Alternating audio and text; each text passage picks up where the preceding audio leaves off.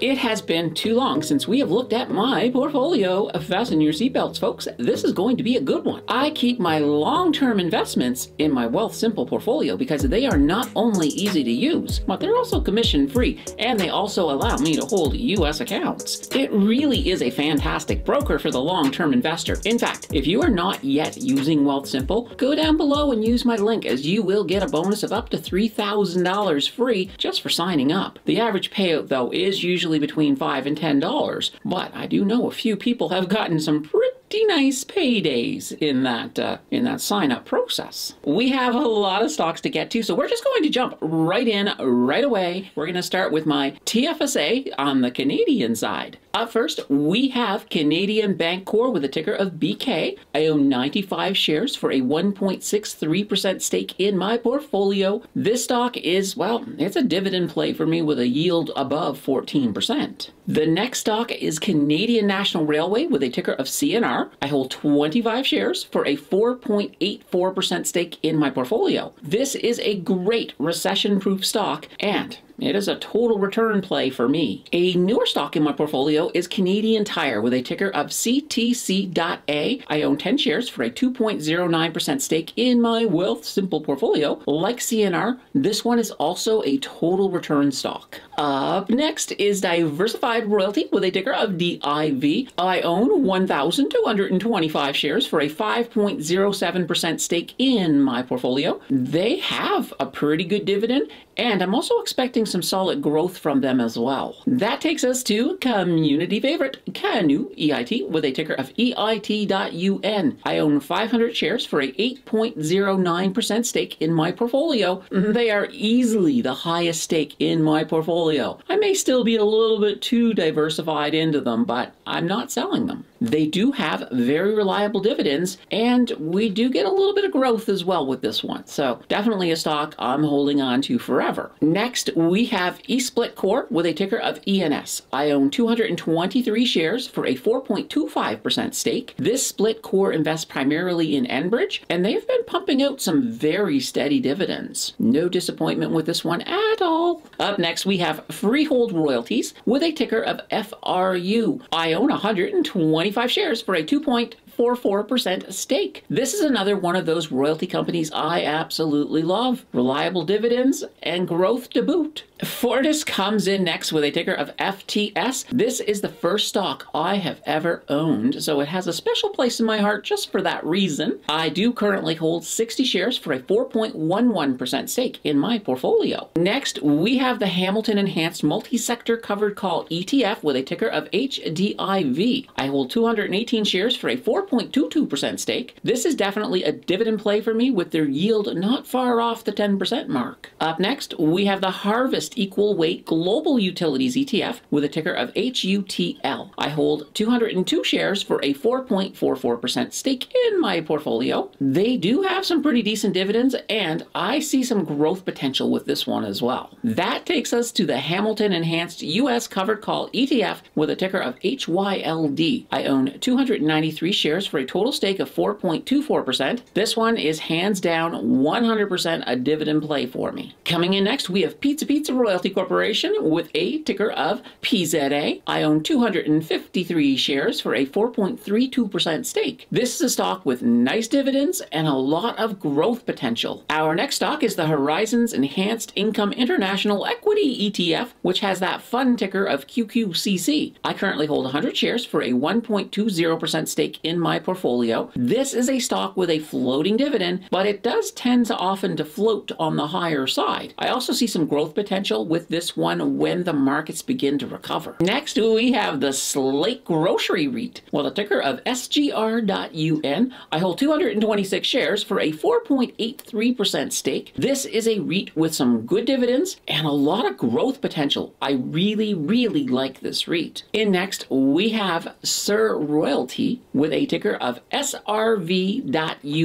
I hold 240 shares for a 4.13% stake. So far in my portfolio, this has been a total return superstar. That takes us to TELUS with a ticker of T. I hold 100 shares for a 3.36% stake. Another great blue chip total return stock. Next up, we have Timbercreek Financial with a ticker of TF. I own 403 shares for a 4.05% stake in my portfolio. They have a reliable dividend, and I am expecting some growth out of them as well on the other side of the bear market. Now we have Tourmaline with a ticker of TOU. I own 65 shares for a 4.82% stake. Solid dividends, special dividends, and a lot of growth. Enough said on this one. That takes us to the iShares S&P TSX Capped Energy Index ETF with a ticker of XEG. I own 190 shares for a 3.65% stake. I do love this ETF, and when oil is doing well, it is an overachiever for sure. The last stock in my Canadian TFSA is the Purpose Tesla Yield ETF with a ticker of YTSL. I currently hold 242 shares for a 7.01% stake. This is an ETF that has been delivering crazy dividends and